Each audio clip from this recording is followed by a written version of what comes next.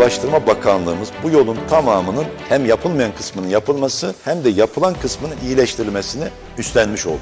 Ulaştırma Bakanlığımızla konuyu Cumhurbaşkanımızın talimatından sonra değerlendirdik. Oturup bir yol haritası çizmiş olacağız. İnşallah bu kuzey çevre yolu baştan sona hizmete açılmış olacak. Kuzey Çevre Yolu Kahramanmaraş'ımız için gerekli bir yatırım projesiydi. Belediyemizin imkanlarının yetmediği bu noktada Ulaştırma Bakanlığımızın ve Cumhurbaşkanlığımızın destek vermeleri gerçekten takdire şayandır. Buradan Sayın Cumhurbaşkanımıza ve Ulaştırma Bakanımıza sevgilerimizi gönderiyoruz Baraşlılar olarak. Bundan sonraki projelerde de belediye başkanımıza kolaylıklar diliyoruz. Ben mesela trafiğe takılmayayım diye, zaman kaybı az olsun diye ben o yolu sürekli kullanıyorum.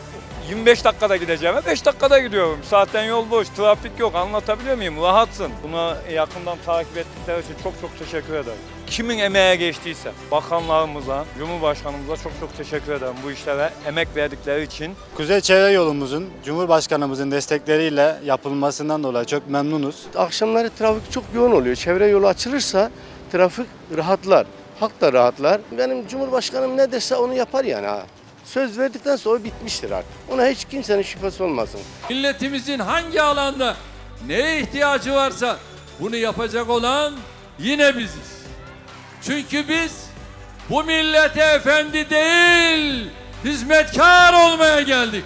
Bu böyle bir Cumhurbaşkanı daha ya gelir ya gelmez yani. Çok çok teşekkür ederim. Bütün sebep olanlar, bizim için uğraşanlara Allah uzun ömürler versin. Kahramanmaraş'ın e, il sınırları içi fiziki coğrafyası ulaşıma ve rahatlamaya müsait değil. Çevre yolu elbette ki ihtiyaçtır. Devamının yapılmasında fayda arz ediyorum. Bu faaliyetler için de başarılar dilerim. Yapılan yol çalışmalarından dolayı teşekkür ediyoruz. Şehrimizin trafiğini büyük ölçüde rahatlatacaktır. Şimdi çevre yolu için, bütün milletimiz için Allah hayırlı eylesin. Halk için, Kahramanmaraş için çok faydalı olur. Bunun için Cumhurbaşkanımıza ve belediye başkanımıza çok çok teşekkür ederim. O yolu babam da kullanıyor. Onun için teşekkür ediyorum. Yapılması memleketin hayrına olacak. Kuzey Çevre Yolu'nun yapılmış olması ve yapılmaya devam edilmiş olması aslında güzel bir hizmet. Çünkü şehrin trafik sorununa, keşmekeşine bir çözüm yolu. Malum hem aşağıdan hem yukarıdan şehrin içerisine girmeden çeşitli girişler yapılması gerekiyor şehrimizin rahatlaması için. Bu anlamda Cumhurbaşkanlığımızın üstlenmiş olması hem şehrimize maliyeti azaltıyor hem de bu işlerin daha çabuk işlemesini sağlıyor.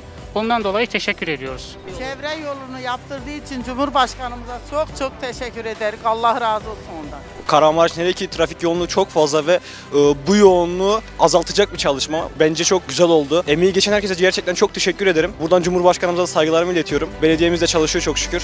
Onlara da teşekkürleri sunuyorum.